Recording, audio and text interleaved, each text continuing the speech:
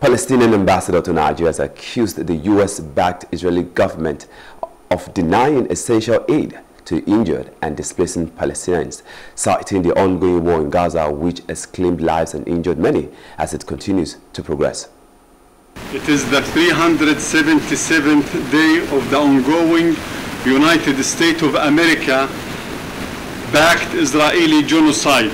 The United States will not consider withholding weapons from Israel for blocking food and mediation for entering the enclave. The United States is the godfather of the current genocide.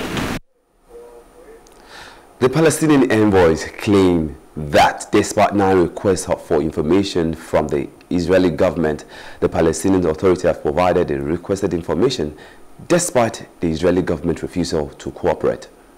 In this connection, Israel refused to cooperate with the United Nations Commission of Inquiry, citing its latest report A 79 232.